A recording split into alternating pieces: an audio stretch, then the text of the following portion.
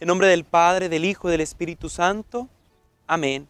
Que Jesús resucitado sea nuestra alegría, nuestra esperanza y se encuentre con todos ustedes. Del Santo Evangelio según San Juan.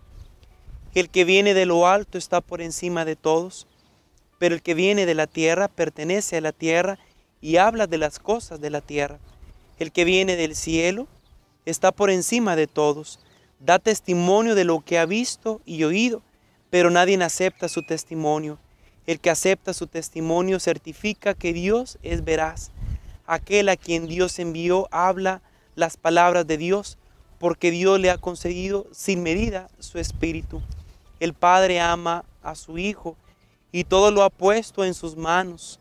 El que cree en el Hijo tiene vida eterna, pero el que es rebelde al Hijo no verá la vida, porque la cólera divina perdura en contra de él. Palabra del Señor. Podemos preguntarnos al escuchar este Evangelio, queridos hijos, queridos hermanos, ¿qué tanto estamos nosotros? Podemos decir que estamos en comunión con Dios, que estamos realmente convencidos de las palabras que el Señor constantemente, palabras de amor, palabras de salvación, que brotan de los labios del Señor él, el enviado, el Hijo del Padre, la segunda persona de la Santísima Trinidad, en cómo nosotros vamos teniendo ese encuentro con Él. Sin duda alguna, después de la resurrección que Jesús aparece a sus apóstoles, a sus discípulos, no les fue tan fácil reconocerlo.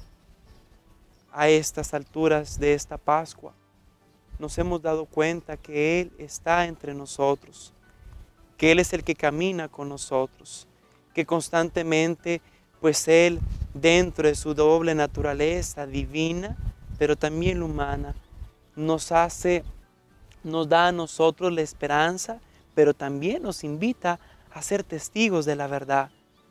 Que en este tiempo que todavía estamos celebrando en la Pascua, podamos discernir las cosas que vienen de Dios como escuchamos ahorita en el Evangelio, las cosas que vienen del cielo.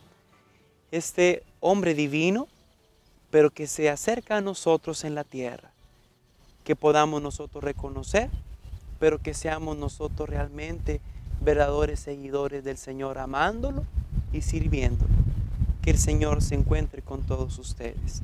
Y la santa bendición de Dios, que es Padre, Hijo y Espíritu Santo, desciende y los acompañe hasta la vida eterna. Amén.